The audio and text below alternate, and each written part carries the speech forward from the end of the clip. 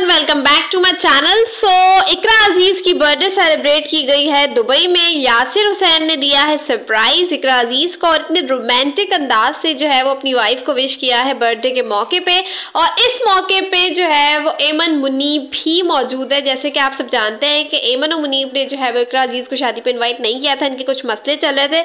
लेकिन इकरा अज़ीज़ की बर्थडे पे एमन और मुनीब को सब लोग देख के जो है वो बहुत ज़्यादा हैरान हो गए। और इकरा अज़ीज़ जो है वो पच्चीस साल की हो चुकी है। इनकी ट्वेंटी फिफ्थ बर्थडे सेलिब्रेट की गई है और बहुत ही रोमांटिक अंदाज से, बहुत फ़न किया गया है और इकरा अज़ीज़ की जो ड्रेसिंग है, उस पर भी लोगों ने बहुत तनकीद की है कि इनकी ड्रेसिंग बहुत ज़्यादा बेहुदा है।